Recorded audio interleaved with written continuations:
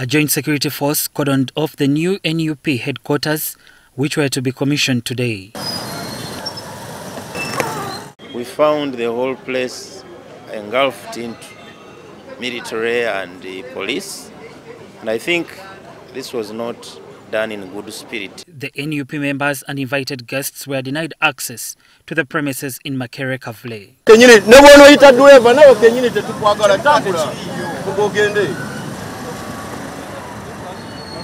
Nze njagala wano ofisi yange sikuyiseeri si leero.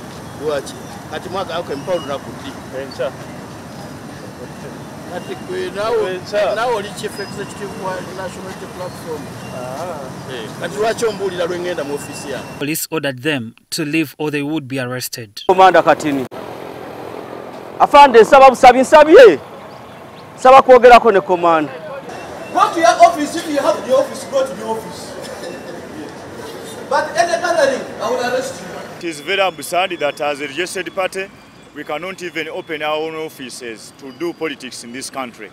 We never expected this a smooth ride in a turbulent state like this one. So, we shall soldier on.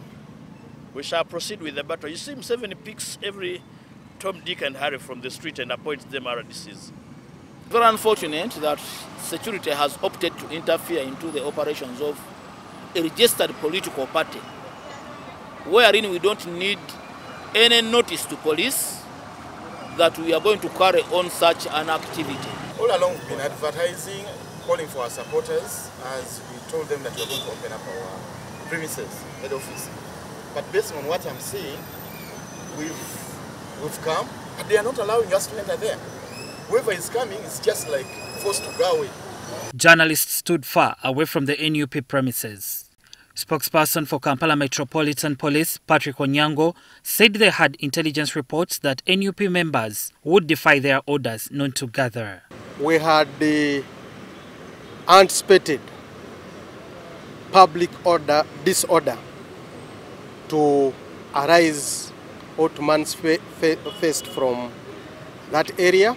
In a letter dated October 31st, 2023, from Yasini Njasabigu, the RCC Kawempe, addressed to the NUP Secretary General, instructed NUP to schedule its ceremony to a later date since there were several VIP activities in Kawempe area. In the letter, NUP was asked to inform all relevant authorities about their gathering.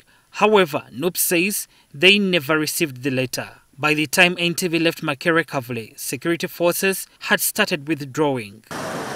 Baker Mulinde, NTV Tonight.